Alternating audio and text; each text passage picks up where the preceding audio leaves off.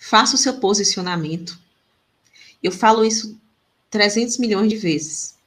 E as pessoas ainda não se posicionaram. Muitas não se posicionaram. Escolha um nicho para você se posicionar. Escolha um alvo. Escolher o teu nicho, trabalha teu nicho, vai lá, posta conteúdo, mas, mas não é pouco não, gente, é massivo, né? Não é uma vez, postar uma vez na semana, uma vez na vida, outra na morte, não, é regularidade, tá? O que, o que faz a autoridade ser construída na internet é a regularidade com que você faz isso. E quando você começar a postar conteúdo, escolhe um dia para você fazer live. Escolhe o tema, vai lá e educa a tua audiência. Porque hoje os maiores, né, é, é, vamos falar assim, as maiores autoridades são educadoras. Então, é, quando você vira autoridade, eu espero que vocês cheguem nesse nível também. De vocês virarem uma autoridade, talvez vocês ficarem tão grandes, porque essa hora chega, tá, gente? Vocês ficarem tão grandes que talvez vocês precisem é, contratar uma equipe alguém para trabalhar da forma. Claro, você vai ter que ensinar a sua forma de trabalhar, mas você contratar uma equipe para trabalhar com você, porque você não dá conta de tudo. É o meu desejo para vocês, né?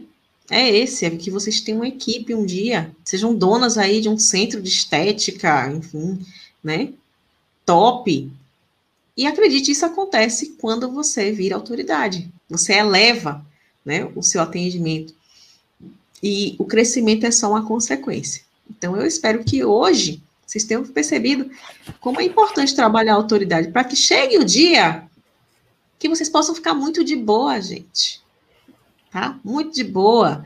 Que você não precisa mais correr atrás do cliente, o, o cliente corre atrás de você, você fala assim, ah, eu vou olhar minha agenda, vou ver se você tem, eu vou ver se eu tenho vaga aqui para o mês que vem, que eu tenho um discípulo que já está nesse nível. Tem dois casos muito específicos que são bem interessantes. Um é de Jéssica eu sinto muito Jéssica, porque Jéssica é uma pessoa, né, que eu, eu falo com ela, dou risada com ela hoje, que ela cometia a maioria dos erros que toda profissional de estética comete. Jéssica é a personificação da pessoa perdida, né? E aí, ah, deixa eu até botar aqui, peraí, que eu tô com um negocinho, o fone errado, peraí. Pronto, vai ficar melhor o som.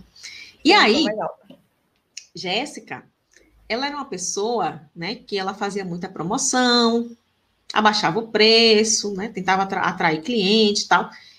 Mas, e, e, na época ela não mexia muito com rede social. Aí depois que ela começou a ser acompanhada, né, comigo, eu falei, Jéssica, bora mexer nas suas redes sociais. E aí Jéssica começou a fazer o trabalho nas redes sociais.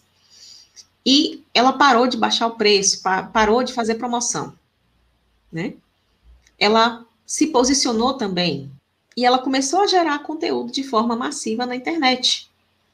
E hoje ela não só está com a agenda dela lotada, né, ela fatura, uma das minhas fatura mais de 14 mil por mês, e ela ainda hoje virou uma autoridade, né, e passa o conhecimento dela adiante, porque ela, ela fez um, né, ela criou um nicho.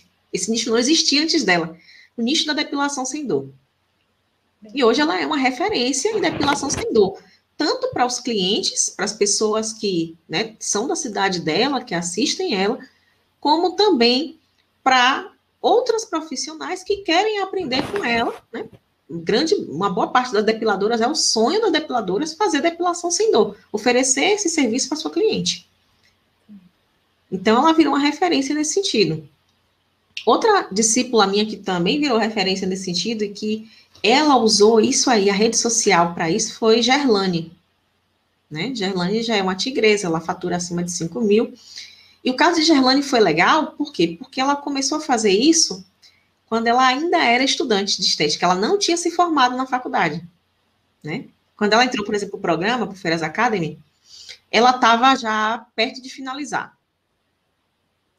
E aí, ela começou né, a fazer o, o, os exercícios, começou a fazer os desafios que a gente propõe, e os desafios envolvem então, você trabalhar a autoridade. Essa menina, em pouco tempo, mas, mas foi pouco tempo, foi questão de três para quatro meses. Em pouco tempo, ela produzindo conteúdo, ela virou uma autoridade na cidade dela. E hoje ela tem a agenda lotada. Bem. Tá lá ganhando muito bem, feliz da vida, né? Tem, as redes sociais dela bombam. Acho que você acompanha ela, né, Thaís? Recém-formada e ela conseguiu tudo isso. Pois é, se formou agora, em dezembro, né? E já está aí, né? Indo bem. Então, é, é, é, algo que é muito interessante. Você vê, né, que realmente é algo que dá efeito, é algo que, se você utilizar a estratégia correta, né, para você fazer a geração de autoridade, funciona. E funciona muito rápido, inclusive, porque hoje a gente está vivendo uma era, né, 2021 é um ano de mudança, de disrupção. A gente acelerou, gente, nesses últimos dois anos aí, né, com a pandemia, a gente, a gente acelerou, tipo, 20 anos no tempo. Então, a, o fluxo de informação está muito mais rápido. Então, é, se você souber fazer o trabalho correto, você também consegue chegar muito rápido ao destino. Tá? Então, é só não marcar bobeira, é só fazer o que tem que ser feito.